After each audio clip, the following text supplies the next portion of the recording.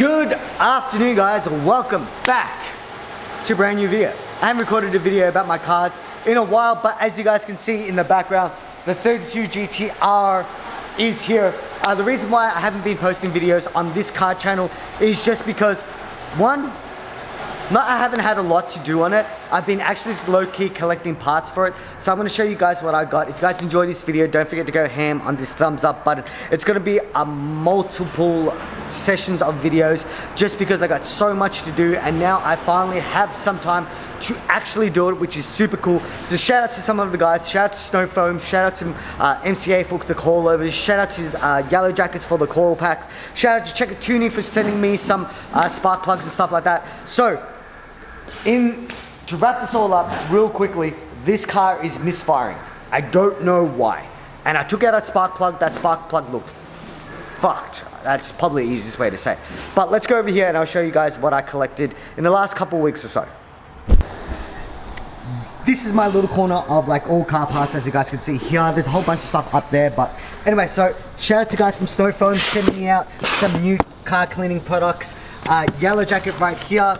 So these are the new coil packs that I will be running on the 32 GTR. I know everyone's gonna say run 35 GTR coil packs, but have a Nistune, so that's not gonna work. So, and then I have some iridium spark plugs right here, as you guys can see.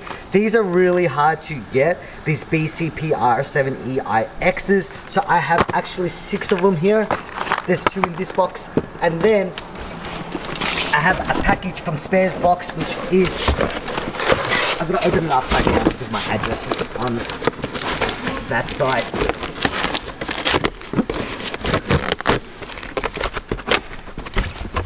Okay, so in this box here, I have 1060 Castrol Edge Sports Supercar. Uh, the reason why I use 1060 because the motor is built and same as my 180 and I bought two oil filters for um, the GTR as well because they were on sale. But last but not least is this MCA box. So the GTR does have coilovers in it, but as you guys know, MCA always hooks it up. So I definitely had to get a set of MCA coilovers for the GTR because I'm I'm not 100% sure, but I'm 98% sure that the bottom, uh, the rear coilovers on the GTR are bottoming out, just because it's not. This is as low as it goes, and that's probably as low as I want it to go. To be honest, like this height is perfect but it's making some weird knocking sounds just because it's bottoming out. Just on this rear side as well. So um, I'm pretty annoyed about that. And I don't know if you guys noticed uh, I haven't told you guys I put 265s on this on these tie on these rims now. So it doesn't have that stretched look. So it has a more of a GTR look. What's another thing that you guys haven't seen that I installed? Um, oh yeah the gurney lip. I decided to end up putting up on a carbon fiber gurney lip and I've also put a Kokaine hang tag, hang ring thing just in the back. That's pretty much it. There's nothing crazy that's gone happening with the GTR, but let's start working. First thing I'm gonna do is take off this, rip all the spark plugs out, rip all the coil packs out. That's the probably easiest way. And then at the same time, I'm gonna drain the oil because the oil is disgusting. Because it's this is the second oil that it has since running. Oh, this is a really dumb idea. I can tell this is gonna be dumb. That's not good. That blackness is not good. Oh, can I put it back in the hole one hand? Yeah. And then oil filter down there. Um, I've actually, have I serviced this car before? Yes, I have actually. This is the second time I've serviced it. So I've got to get rid of these coilovers as well. There's nothing wrong with them. It's just that the rear end's bottoming out because it's too low and these coilovers are not made to go that low. So let's go. I'm doing this very systematically so it just makes my life easier. I've taken all the coil packs out as you guys can see, coil pack covers out. Just need to take the spark plugs out but at the same time I do have the car jacked up. Not jacked up but just on ramps at the moment. I'm going to jack the car up and then I'm going to empty the oil, oil filter I might even take off the wheels and change the coilovers at the same time just to do the whole front end in one go, which is probably the smart thing to do.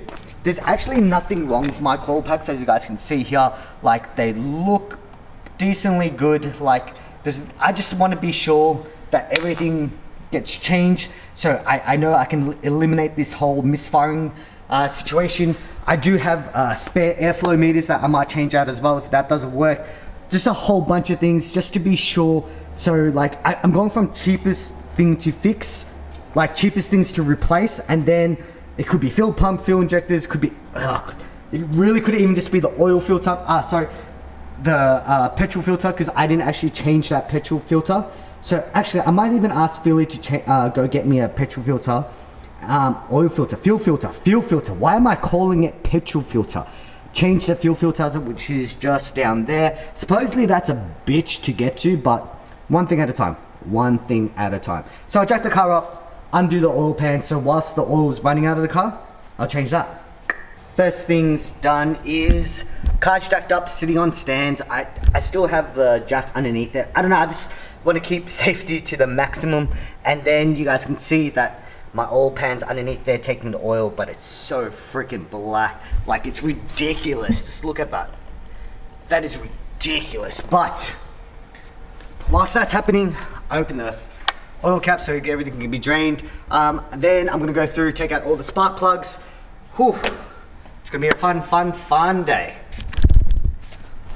Okay, so I took the spark plugs out. I'm trying to figure out, is it actually misfiring? But if you guys look carefully on this spark plug right here, it is burnt to the bottom right here, right there. You guys can see that. And it's not an oil residue because it's actually hard. I can't just uh, wipe it off. So this is the spark plug that's giving me problems, but all of them sort of like look like they're failing out, which might mean that my car's running too rich or there's something wrong with the coil packs or uh, I can't even tell. So what I'm gonna do is just take them all out, put the, all the brand new ones in, and then, I hate to say it, hope for the freaking best. Cause like, that's all we can do right now. Like, I, I can't even stress how much I'm stressing balls about this, to be honest. Just got the uh, brand new coil packs out, as you guys can see right here, the yellow jackets. Uh, to be honest, I would love to go like Splitfires or, or like R35, but like I said, that these don't need a uh, igniter and I want to use the stock igniter. With the R35 GTR coil packs you need to run uh, a different ECU and I just want to run it as is.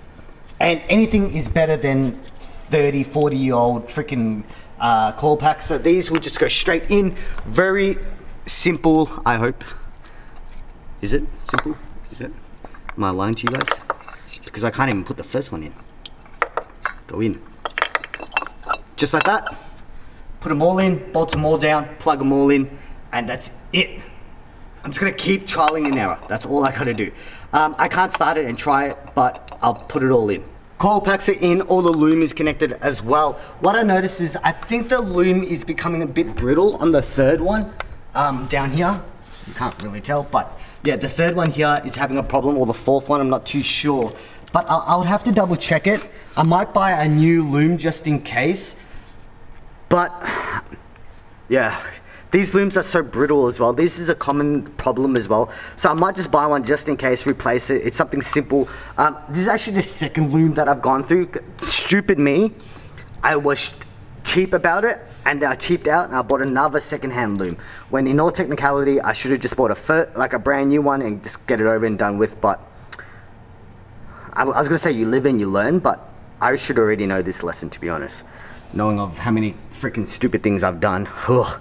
But all good, all good. Let's keep moving. RB26's freaking oil filters are a bitch to get to. They're so annoying. Like my hands are shaking because it's such an awkward spot. I even have the right tools and everything for it. And it's just still very, very hard to do.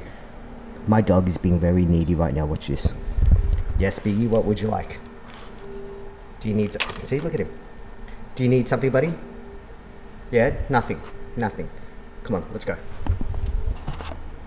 Shout out to Philly for uh, going getting my uh, fuel filter. This is super easy because now everyone does click and collect and uh, Philly doesn't need to go inside and really figure out what I need, but that is just down there. It looks like it's been replaced before, which is good. So I'll replace this and it should be okay, but Everyone says this is a pain in a butt to do the bottom, uh, the bottom thing. You guys can tell my hands are shaking from literally trying to take the oil filter on and off, but oh, it's so annoying.